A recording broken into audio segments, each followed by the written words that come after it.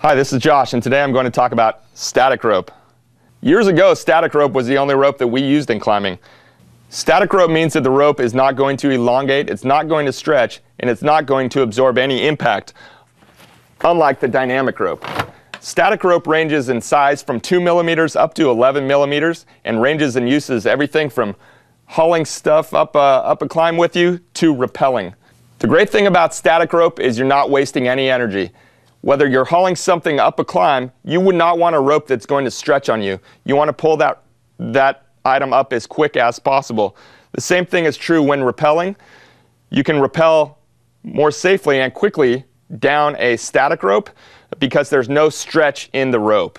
Static rope is more durable than dynamic rope you don't have to worry about whether or not the rope can continue to take a fall. Static rope is usually used under weight already, so you're not taking falls on static rope.